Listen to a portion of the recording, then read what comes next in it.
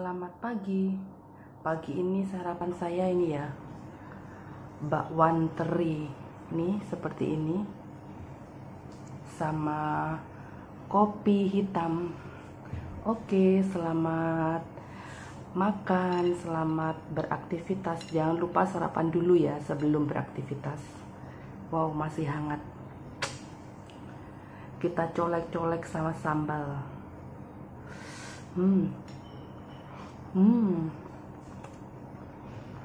Mantap.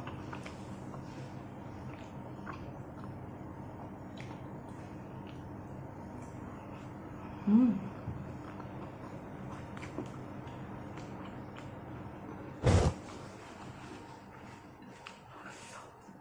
Bakwan.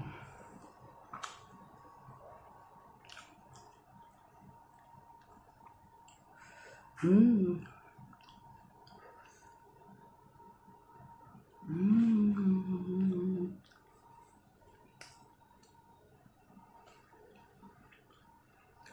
Bakwan teri.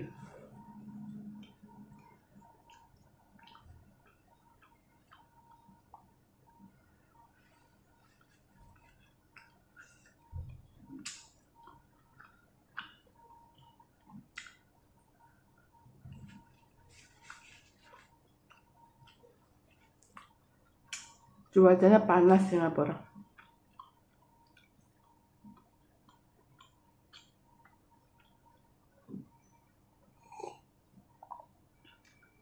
Ditemani secangkir kopi.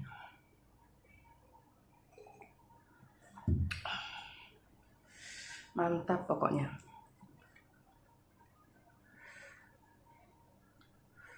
Hmm.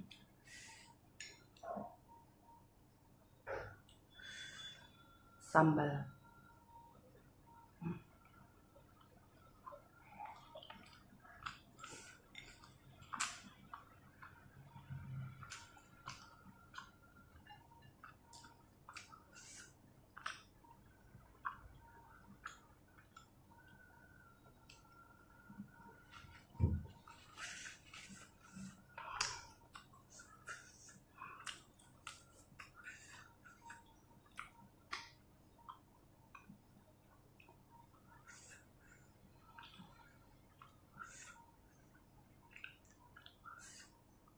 dicolek sambal seperti ini. Hmm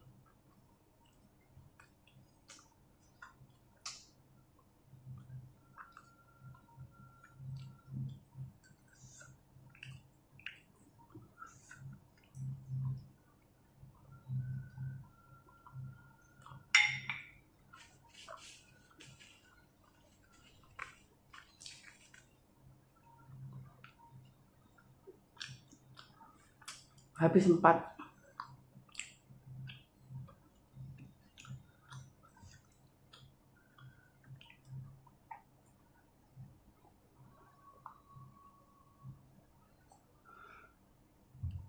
Oke, sudah selesai sarapan.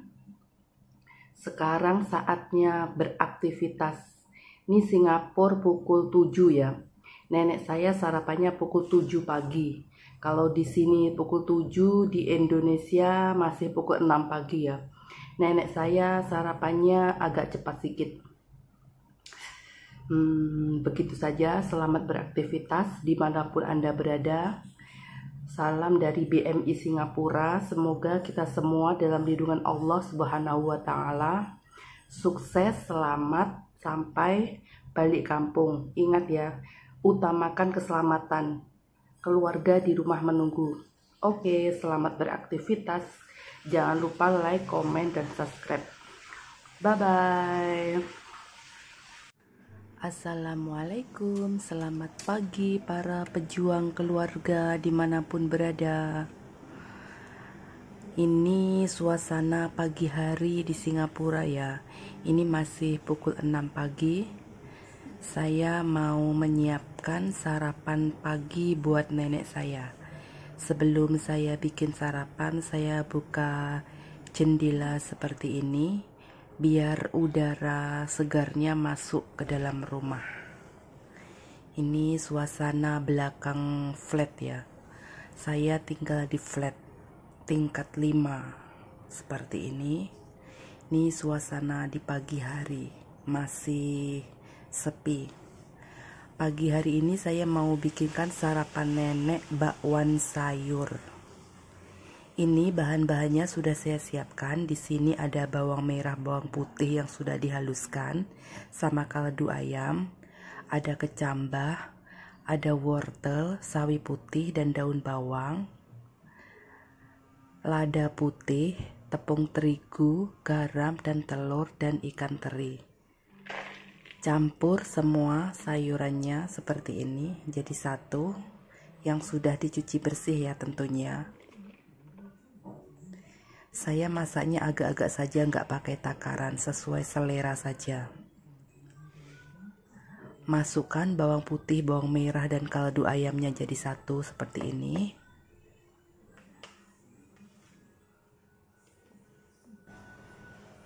Tepung terigu diagak-agak saja ya. Masak itu bagusnya diagak-agak. Kalau ikut takaran nanti takut kurang ini, kurang itu. Jadi diagak-agak saja menurut lidah kita. Kasih lada putih secukupnya secukupnya garam saya kasih sedikit dulu karena tadi sudah pakai kaldu ayam telur satu biji nanti kalau kasih garam banyak takutnya terlalu asin. Kasih air secukupnya sedikit-sedikit dulu. Nanti kalau kurang asin boleh ditambah lagi. Nanti dirasa. Aduk sampai tercampur sama sayurannya. Tepung sama sayuran tercampur. Rata. Aduk-aduk seperti ini hasilnya. Seperti ini ya. Ini saya agak nggak sehat ya. Suara saya agak serak. Agak mau batuk gitu. Sudah saya rasa ini cukup garamnya. Saya nggak ada cetakan ya jadi saya gorengnya pakai sendok seperti ini. Terinya saya letak atasnya seperti ini. Jadinya nggak bulat nggak apa-apa lah. Yang penting jadi bakwan. Seperti ini ya hasilnya. Ini sudah matang saya angkat saya tiriskan seperti itu.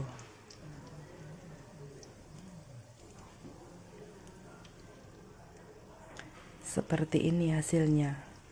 Bakwan sayur teri. Bakwan sayur topping teri. Wow mantap. Banyak jadinya ya. Hangat-hangat mantap ini saya siapkan buat nenek saya.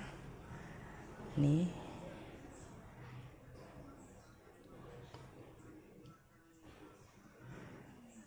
Bakwan sayur topping ikan teri. Ini kopi susu buat nenek. Saya kopi hitam saja, saya nggak begitu suka susu.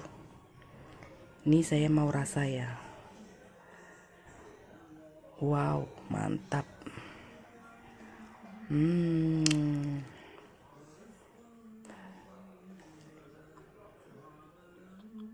Jangan ngiler ya, kalau ngiler bikin sendiri. Seperti ini sarapan saya. Oke, selamat mencoba. Bye bye.